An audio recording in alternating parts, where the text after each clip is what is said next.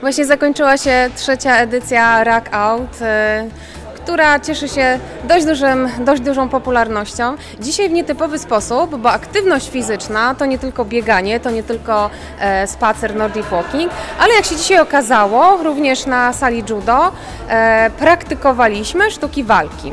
E, aktywność fizyczna jak najbardziej, również jeśli chodzi o sztuki walki czy elementy karate dla każdego. E, Ćwiczenia były specjalnie dobrane do uczestników, e, były elementy jogi, stretchingu, ale też poznaliśmy podstawowe elementy e, walki, obrony, samoobrony. Uczestnicy byli bardzo zadowoleni, było dużo przyjemnych elementów i chwil, no i każdy wszedł zadowolony, deklarując, że będzie ćwiczył taką formę ruchu.